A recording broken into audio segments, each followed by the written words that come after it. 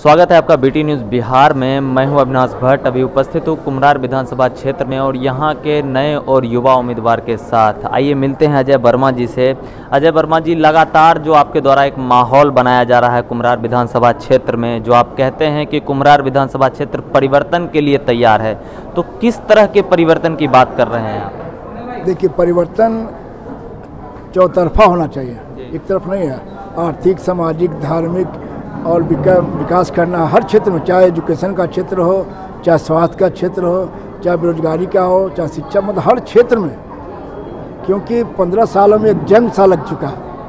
एक ही ढर्रा पर चलते चलते जो है, वो विकास का रास्ता बंद हो चुका है। अब नए ढंग से उसको सृजन करना पड़ेगा, हर चीज़ में सृजन करना पड़ेगा। और तभी परिवर्तन होगा, जब लोगों के दिमाग में आएगा कि नहीं, पहले से बदलाव हो।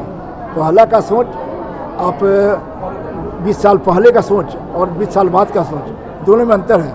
आज युवा बेरोजगारी के मार मार रहे हैं। युवाओं की संख्या बढ़ रही है। शिक्षित युवाओं की संख्या बढ़ रही है। तो आपको अब पहले हिसाब से नहीं चलेगा। आपको आज के हिसाब से सोच करके परिवर्तन करना पड़ेगा। सर, आपने अपनी सभा में अभी कहा था कि कुमरार विधानसभा क्षेत्र लगातार 30 सालों से, क्योंकि पिछले 15 सालों से अरुण सिन्हा जी यहाँ हैं। उनसे पहले सुशील मोदी जी यहाँ रहे हैं तो कहीं ना कहीं ये बीजेपी का पेटेंट सीट रहा है। तो इस पे आप क्या कहना चाहेंगे? देखिए हम लोगों ने ही उनको मौका दिया। जी। वो अपने खुद वोट नहीं आ- नहीं आ रहे हैं। हम लोगों ने उनको सपोर्ट किया समर्थन किया निश्चित रूप से। लेकिन जब अब लग रहा है कि नहीं अब सपोर्ट अपना आत्मघाती कदम होगा क्योंकि हम लोगों ने जिस उम्मीद के लिए किया था वो हम लोग को अब फुलफिल नहीं हो पा रहा। अगली बार अगली बार अगली बार करते करते हम लोग तीस साल का धोखा खा चुके हैं। लेकिन अब चाहते हैं कि परिवर्तन हो, नया सोच, नई विचार के साथ जो है, हम लोग आगे बढ़ना चाहते हैं। जो हो चुका, सो हो चुका। लेकिन अब जो है, अब वो नहीं होगा जो पहले तीस साल से गलती हुआ। है सर, आपकी भाषण में एक चीज़ और नोटिस किया है मैंने। आप बार बार कहते हैं कि ये लोकसभा नहीं, विधानसभा का चुनाव है। तो फिर मोदी जी का नाम लेकर क्यों लोग सामने आते हैं? प्रतिनिधि अपने नाम पर क्यों नहीं चुनाव में वोट मांग रहे हैं? इस पर सर क्या कहना है आप? देखिए, ये स्पष्ट है कि चुनाव अरुण सिन्हा लड़ेंगे, चाहे मैं लड़ूँगा, जनता के बीच में हम जा रहे हैं, अपने काम के बारे में बताएँगे, चाहे मेरा जो विजन उसके बारे में बताएँगे। इसमें आप ऊपर स्तर पर जाने का कोई ज़रूरत नहीं उनका काम करने का शैली अलग है, या वो जो काम कर चुके हैं, वो उनका योगदान है, सरकार में चाहे देश के लिए।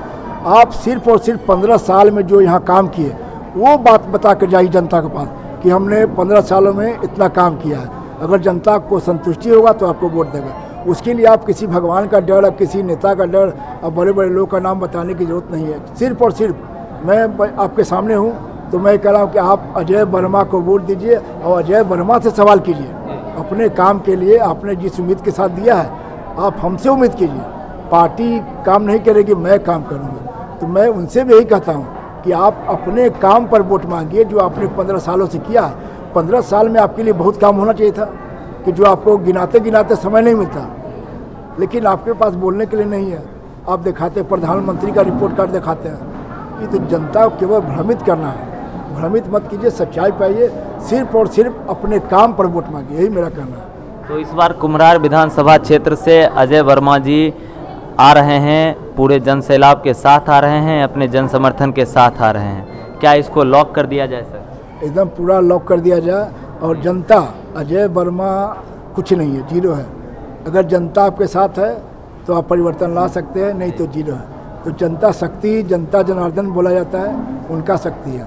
और जनता का ही मांग है ये मेरा मांग नहीं है। अगर जनता को लगेगा कि बात में सच्चाई है तो निश्चित रूप से हमको मौका मिलेगा और पूरा का पूरा समर्थन मिलेगा। बहुत बहुत धन्यवाद सर जिस तरीके से आप देख पा रहे हैं कि विधानसभा चुनाव नज़दीक है और कुमरार विधानसभा क्षेत्र जो हमेशा से पटना का हॉट बनकर रहा है और इस तरीके से जनप्रतिनिधि सामने आ रहे हैं, युवा उनके साथ जुड़ रहे हैं तो कहीं ना कहीं नियमों में परिवर्तन आएगा, तमाम सफलताएँ बदलेगी, लोगों के चेहरे बदलेंगे और अच्छा परिणाम सामने आएगा। आप बने रहिए बीटी न्यूज़ बिहार के साथ, मैं हूँ अविनाश भट्ट, कैमरामैन ऋषि महाराज के साथ।